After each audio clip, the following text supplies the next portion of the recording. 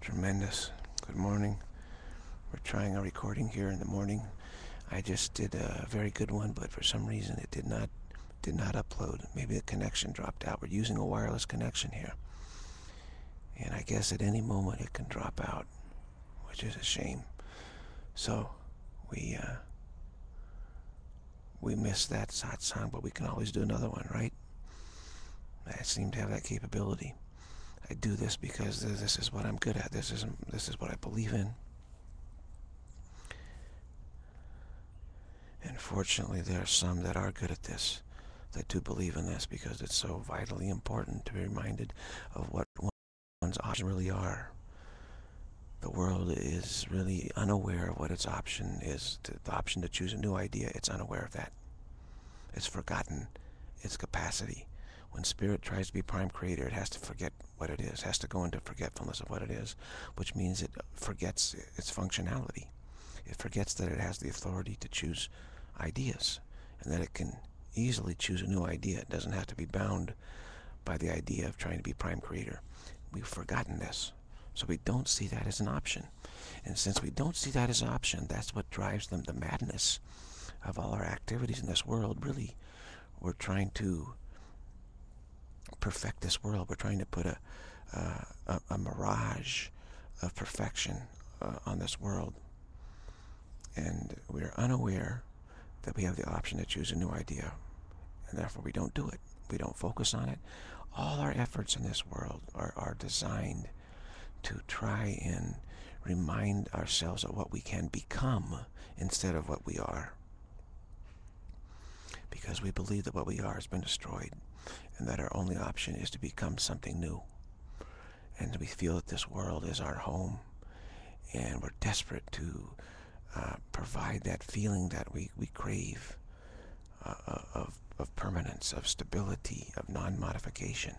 So what happens in this world is we we desperately strive for, for some money and power and control enough so we can hire others to do the maintenance for us in this world because this world requires ceaseless maintenance. Everything is crumbling, continuously crumbling here into ruin. If the maintenance ceases, the ruination takes place. You've seen these uh, temples, like in uh, Bengal, you see all these old temples of, ancient regimes that once were very powerful, and they built these beautiful temples and, and uh, monuments and buildings, etc. And then the, the economy collapsed, the, the countryside was abandoned, and these places just fell into ruin. It's amazing, very instructive to see this. Very instructive indeed. So what we have in this world is a ceaseless drive for success, meaning success means the ability to hire others to do maintenance, to do the dirty work. That's what success in this world really means. That's what everybody is going for. Everybody wants to have someone else to clean their house, take care of their yard, take care of all the, the menial, dirty, back-breaking tasks and they want to have enough money to, to have nice clothes and gadgets and cars and houses and vacations and parties and have other people, you know, cater the parties. They want to have people cook for them. All of these things. That's what people are craving. They're struggling for that. They're fighting for that. They're using all their wits and ingenuity and taking shortcuts and strong-arming things and being very clever and shrewd. And, and all this is happening because we're unaware of what our option really is, of our, of our functionality. Our option is to exercise uh, the power that we have, which is the power to choose a new idea. That's the power we really have. That's always with us. It's still 100% operational, flawlessly with us because we have not been able to modify reality. Dreams of modification don't actually modify reality doesn't modify our functionality at all. But we can be in a state of forgetfulness about our functionality. That's the entire problem. So we keep trying to find some solution other than choosing a new idea and experiencing the effect of that idea. We keep trying to find some other way to to uh, bring us the, the happiness and the peace, peacefulness and the richness that we are so used to in reality. So everybody's off to work. We're all trying to earn enough money to survive and even thrive. We want to hire, be able to hire others. And so you have the, the classes separate into those who, who get a leg up and are able to uh, be a little shrewder than others. And then they are able to hire others to do the dirty work for them. And on this planet right now, you have a massive movement towards the super rich and the, main, and the maintenance class. Two classes only. Those who are very wealthy, well-to-do, and those who provide all the maintenance to provide an illusion, illusion of maintenance freeness, as if everything here is not crumbling, is not decaying, is not deteriorating. When you go to the estates of the really wealthy, you you think, you look about and you say, wow, everything's different here. Nature is different. Nature's not dying. It's not decaying. It's not dusty. Everything is polished and shining. And there's no leaves. There's, there's no evidence uh, of the cycles of nature. So you, you think that somehow they live in a different world. It's not true. Everything is done by maintenance, by an army of maintenance workers, by servants the great estates in history by the, of the aristocrats. Same thing. They had an army of maintenance workers providing this vast illusion that the people lived there were somehow uh, deities where nature bent to their will and, and things were not crumbling or deteriorating. Things were not being modified there. An illusion of non-modification is what you might refer to it as. We're desperate here to, to find an illusion of non-modification not aware that we can actually have the power to choose a new idea which will give us an actual real effect of non-modification, an effect that can't be modified. Being unaware of that, we are driven to towards an illusion of non-modification. We're driven to try and compete and get more money than others so we can, we can afford maintenance to to provide this illusion of non-modification. We have we can have our servants bring our car to the car wash, wash the car every morning, so when we come out it's sparkling like there's no dust on it. The windows are crystal clear. We can have people clean our windows ceaselessly, dust our houses, clean the walkways, do all of this stuff. So we we uh, we look and we get new brand new clothes. We're wearing spotless clothes all the time, immaculately groomed and it looks like, gee, age is not touching us, modification is not touching us. And that's why we, we, we, we kind of gawk at these celebrities and wealthy people. And they seem better than us. They seem like they live in a different world that somehow modification is not touching them so much. And then we, we, we crave that. We want to know how, how, do, how do they get this? And we think maybe if we just pay attention to them, we'll, we'll get it. No, they're getting it through indentured servitude, through uh, massive amount of maintenance, being able to afford that. You hear these divorces and, and the, the spouse want claims, you know, $200,000 a month in, in, in, in just basic living expenses or something, some crazy amounts. That's all maintenance stuff, high maintenance. There's some people, high maintenance. It's very expensive to try and produce an illusion that you are modification free. Very, very difficult you know, it's called keeping up appearances. And, and there are those who walk about this world that, that seem to be relatively modification free. You know, that their hair is always, you know, the perfect color. It's always styled perfectly. Everything is new and fresh and they smell good. They look great and their cars are spotless and their whole life seems to just be flowing, you know, without trouble.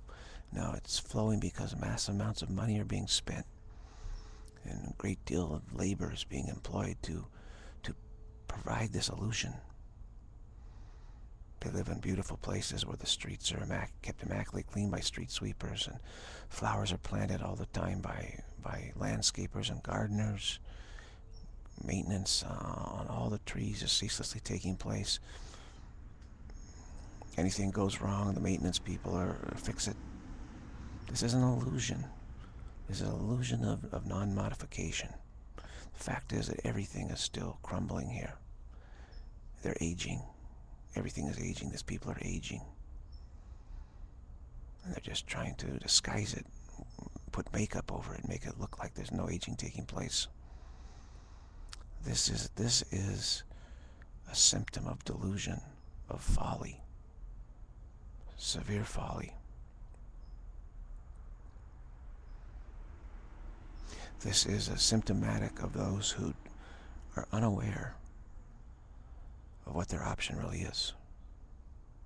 And that's the whole point of satsang, of sitting with, with and listening to clarifications pointing towards truth, pointing to our option, reminding us of what our option is.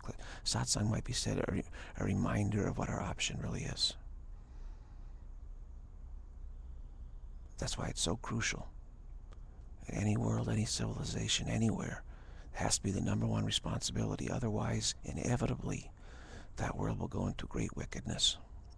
As this world, this present world is going into profound wickedness, as we focus on material, materialism, meaning trying to provide an illusion of non-modification. We're gobbling up the resources of the planet, polluting it, destroying the planet as we're desperately trying to keep providing this illusion.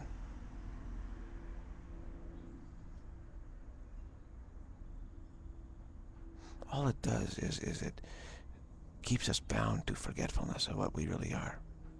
Keeps us bound to this deep forgetfulness.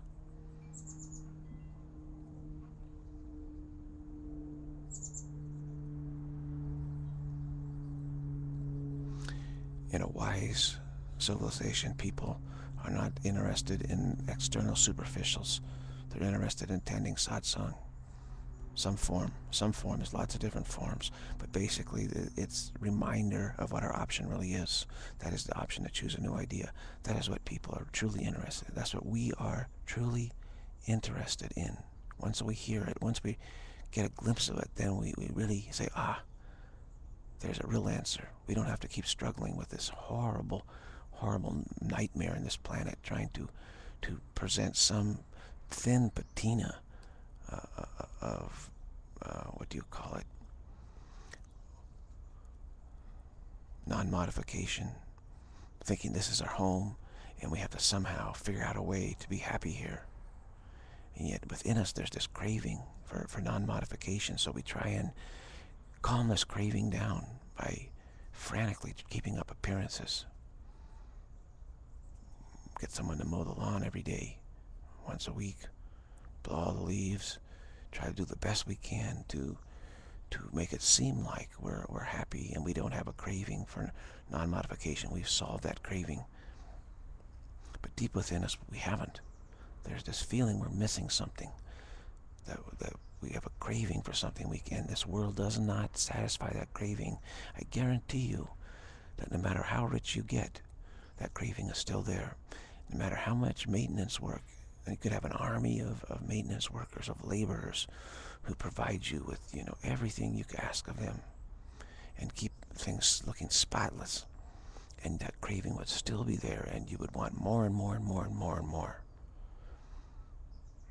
That's why in a, in a, in a foolish world, inevitably there's there's a this dichotomy that, that goes into super super wealth.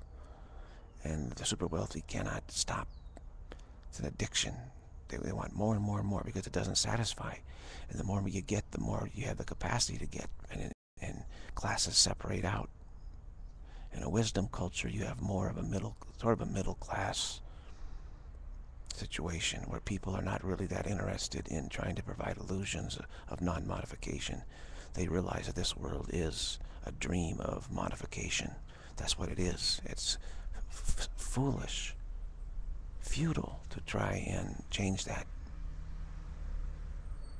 It will always be dream of modification. Everything will always be ceaselessly changing here, ceaselessly. And trying to provide just a thin illusion of non-modification through ceaseless uh, efforts and labors is a waste of time. It's a waste of time. What we need to do is find out what our real option is. That's the option to choose a new idea. And from choosing that new idea, the idea of not trying to be prime creator, we automatically then, the effect of, of non-negation will arise. And this effect overlays all other effects. And it's effortless, and we will experience that. And that experience of non-modification will remind, will remind us of our identity as spirit. And then we'll remember, ah, okay, we now we know what we are. Now we know how we can function, how we function. And eventually we will remember it so perfectly that we will then directly function as we were created to function. But right now in this world we have this uh, ghastly scenario of forgetfulness and trying to adapt to that forgetfulness. All the efforts in the world are simply trying to adapt to forgetfulness, trying desperately to remain in the state of forgetfulness by uh, calming down this inner craving that we have. That craving is, is to remember what we are and to function as we were created to function. That's the craving and the feeling that we're missing something. Yeah, we, we miss functioning as we were created to, to function, and we miss the riches of that. And there's no way we can ever get rid of that except to actually function the way we were created to function, as spirit choosing ideas and experiencing ideas. So we can never get rid of that craving. Nothing we do in this world will get rid of that craving.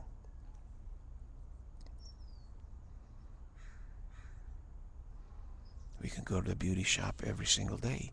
Won't get rid of that craving. We can be pampered to the ultimate extent. We'll never get rid of that craving. We can have sycophants tell us how great we are. Won't get rid of the craving. It's futile. So it's futile to even play along with this, this foolish game. It's a complete waste of time.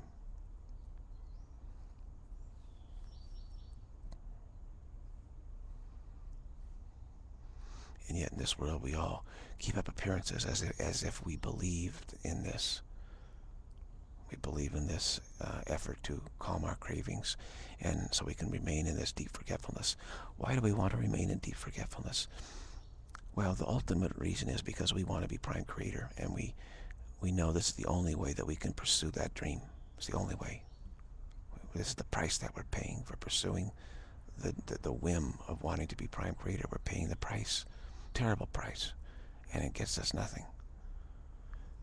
Secondarily, in order to maintain this deep forgetfulness, we've told ourselves the lie that reality's been destroyed or are deeply damaged. And therefore, we don't dare remember it. We don't dare turn our attention back to that and choose to experience that. It would be just horrible, worse, much worse fate than this world. We tell ourselves that. So we're terrified to, to, to wake up, to, to choose a new idea to remember what we are. We're terrified of it. And so we're desperate to calm those cravings of wanting to do that. Desperate to try to make this world seem like a suitable place.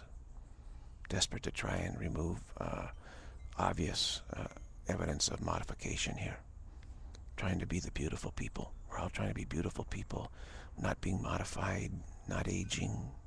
Everything is fine here. Trying to calm those cravings. And thirdly, we're afraid of uh, discontinuity. We're afraid that remembering what we are will be very uh, have a break in continuity. But it's not true because if we choose the idea of not trying to be prime creator, we get this overlay, this effect of non-negation, effect of not trying to modify. See, the idea of not trying to be prime creator means not trying to modify anything, letting everything be exactly as it is. So we get this effect of letting everything be exactly as it is, not effect of not trying to modify anything. Some traditions call this perfect emptiness, meaning emptiness means no modifications taking place. It's empty of modification. It's devoid of modification. Some call it nirvana, not moving. There's no movement, meaning no modification. Some call it peace beyond understanding, Peace meaning no modification. Perfect peace meaning no modification is taking place. The effect of non-negation is one effect. It's not trying to change what it is. It's not trying to forget what it is. It's not trying to modify what it is. This effect simply is what it is. Not trying to negate, get rid of anything. Simply overlaying everything. That is our option. It's our only option. The only option, the only question is when do we choose this idea? When do we make the exchange of ideas? That's the only question. When do we do it? But, but our option is set. We must do that. And until we do that, we will continue to pursue directions that cause us great misery and, and stress and suffering, trying to keep the crumbling nature of, of existence at bay, trying to keep everything clean and give an appearance that, yeah, everything's great here. We're not being bothered. There's no modification touching us here. Our bodies are, are not being modified. Or we're happy with everything. All this forced happiness and we try to distract ourselves with all this horrible entertainment and, we, and food, and we get indigestion. We can't sleep. The, the, entertainment is kind of gross and doesn't really satisfy us. And uh, we try and, you know, try and find the best, best of the best here. Everybody's struggling to customize their lives, get their best, best playlists, get the perfect music and talk and entertainment and food and vacations and experiences and everything. And we're all ceaselessly struggling that way. And that's the, the rat race, the treadmill of existence. And we don't need to do that. We can be free of that. We can sidestep it. We can choose the idea of not trying to be prime creator. This is called repentance. Repent means to choose again. Choose a new idea. And then we will, the craving to experience non-modification will be finally satisfied. And we won't need to do anything to satisfy it because the idea of non-negation, the idea of not to be being prime creator, that effect of, that arises from that idea does satisfy it because it's not being modified. We're experiencing non-modification. And that satisfies our craving right there.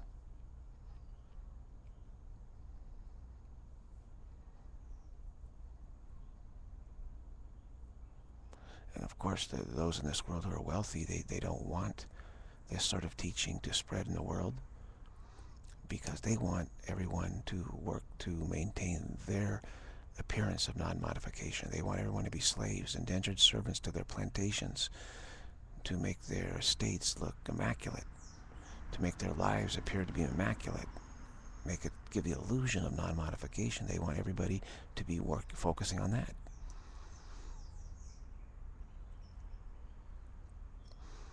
Those who have money, those who have power, wealth in this world, who are, who can afford to to present this uh, illusion of a, of a beautiful life, a beautiful person, they invent various religious teachings that support th this activity. They say everything exactly the way it's supposed to be and everything is just happening the right way and this is all the way it's supposed to be and, and they provide false options that keep people bound to this dreadful system in existence. The one thing they'll never tell you is that you have the option to choose a new idea. Because then you will, will experience non-modification for yourself and you won't feel any need to serve anyone else, anyone's delusions of trying to, you know, keep all the dust off of them. You won't need to be fanning, fanning them to keep cool them down and, and provide all these menial tasks to make someone's else, someone else's life seem immaculately free of, of, of modification. You don't need to do that because you will know what the answer is. You're already experiencing it. And you won't need anybody to slave for you either. Because you're already experiencing it. Without anything changing in this world, you don't need the world to do anything at all, one way or the other. Practical things happen in this world. But there's a profound difference between someone who is directly experiencing non-modification and one who is insisting that an illusion of non-modification be maintained on for their behalf, on their behalf. So most of the teachings of the world are, not accurate. Uh, throughout history, they've been modified to serve the purposes of, of the economically powerful the elites who, who want to perpetuate this system uh, of, of servitude towards their desire to appear to be not free from modification. It's taking place now. It's always taken place.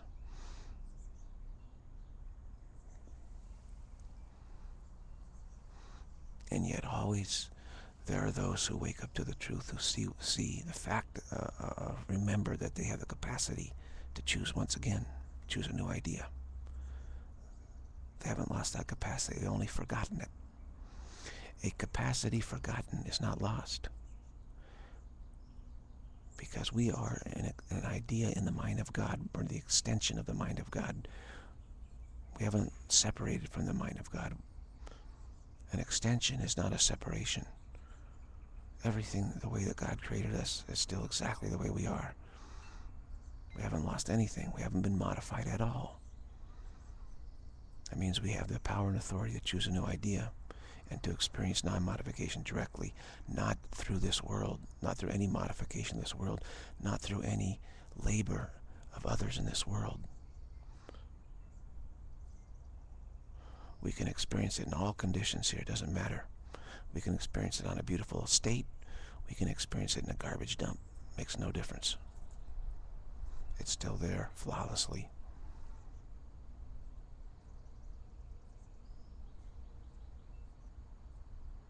But those who, who have the money and the power and the means to hire others to provide this illusion of, of non-modification for them, they're very keen on maintaining that system. Making sure that the maintenance class doesn't get any wind of freedom, of, of remembrance that they can choose a new idea and be free of all of this system. They want to keep everyone bound in ignorance, thinking that their role in life is to serve the, the, the powerful and the elite in the world. The idea that we're all somehow put in, in, in, in our place here to, to carry out certain uh, tasks is nonsense. We're all coming here to try and be prime creator. That's why we come here.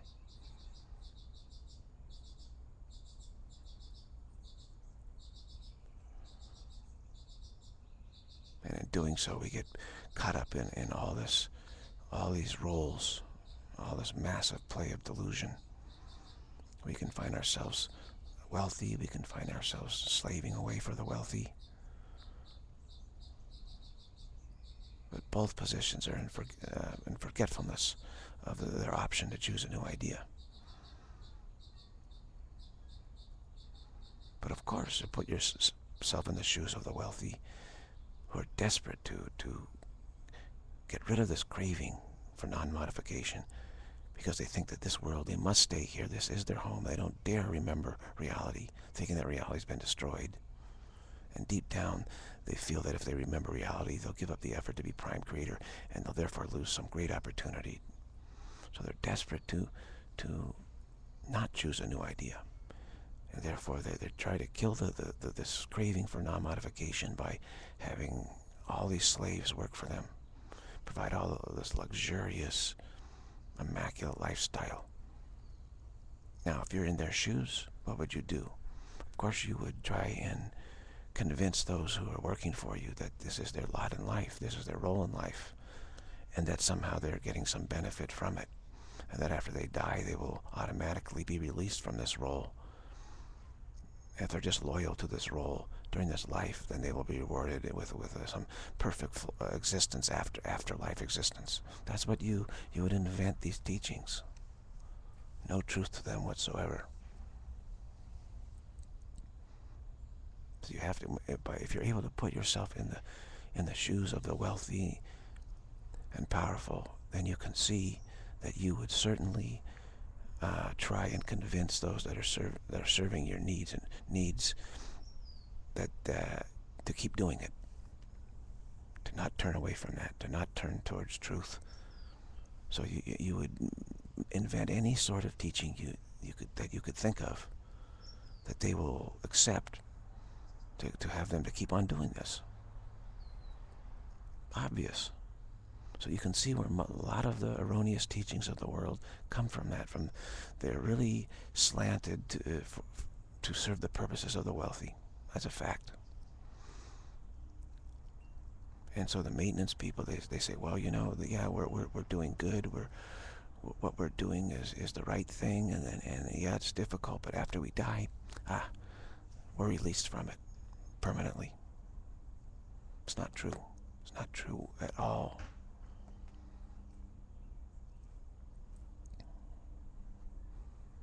The afterlife doesn't re release one from anything. Modification takes place in the afterlife too. In the afterlife you find their deities, same thing as here, and they expect you to serve and worship them and, and, and give them the, the ego boost. You need, you know, the, the what they want, the deities want is you to pretend that the deities are uh, free from modification. They want to be worshipped. They want you to look at them and say, ah, you're so flawless. Ah, you're so perfect. Ah, you're not being modified in any way. You truly, therefore, must be God. You must be the Spirit. You must be completely awakened, etc. And then this feeds the, the deities hope this will, this will calm their craving for non-modification. So there's just, in the afterlife, there's systems of in, in servitude and enslavement just the same way as there is here in this world. It's no different. No different.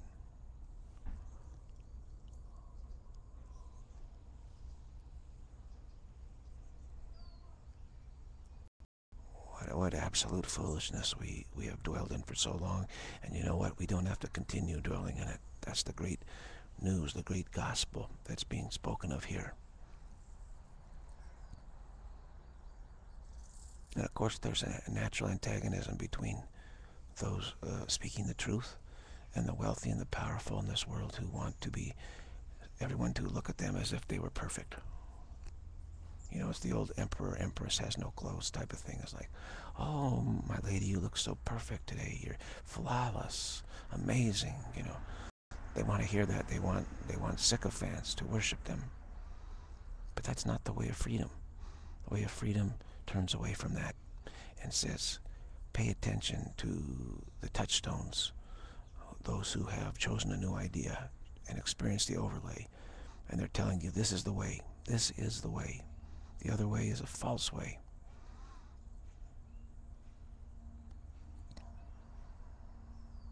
And so you, you have this tension in the world between the desire of the wealthy to be served and the desire of, of everyone to really, truly be free and be saved. And that kind of seesaws throughout history. Right now, the, the, the desires of the wealthy are in the ascendancy there's a very much in the, the ascendancy, and they are, have been able to shape the, the spiritual dialogue of this planet to twist it into a belief that somehow we need to make this world a perfect place, a better place, great peace here on earth, etc. That's direct distortion of truth coming from the, the very powerful wealthy classes who uh, provide charities and philanthropy and funding, etc., for those who will uh, preach this type of doctrine. It's a false doctrine. Very false doctrine. If you want to get on TV, you have to preach this false doctrine. If you want to have any kind of uh, notoriety and marketing and get out there, you need to really preach a false doctrine in order to be supported by the, the money of the world, the wealth, the power, the movers and the shakers, the beautiful people, those who are craving to be seen as free of modification, those who want to be worshipped as free of modification, instead of telling us how we can be free by experiencing the overlay. The overlay is not a person. It's not a person. It's not a thing. It's that which overlays all persons, all things, all situations, all spatial relationships, all activities, moods, overlays everything in the dream of existence.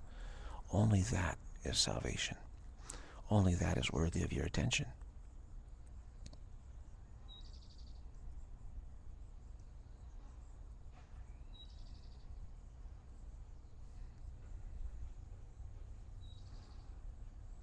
But in this consumer-driven world, we're all thinking, hey, maybe we can be beautiful people because we can go down and buy these beautiful clothes.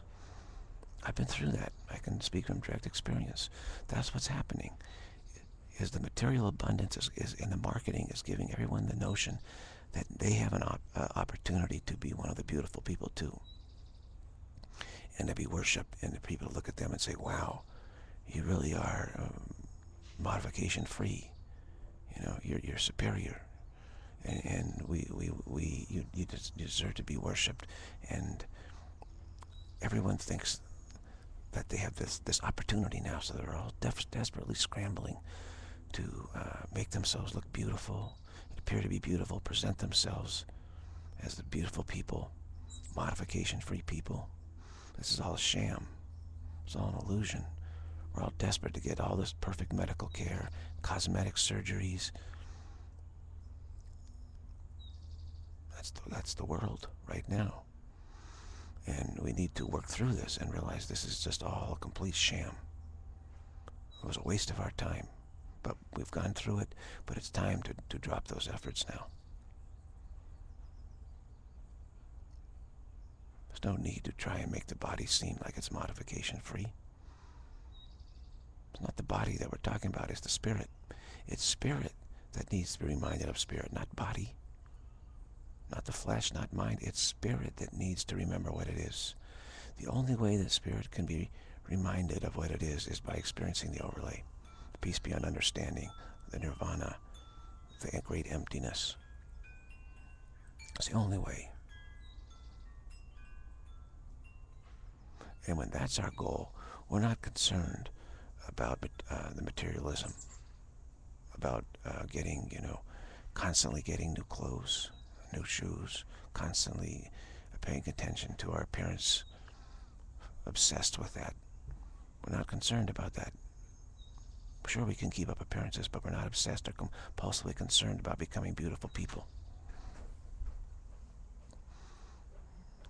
All right. I think that's enough for this morning because I need to get to work to provide money to keep up appearances.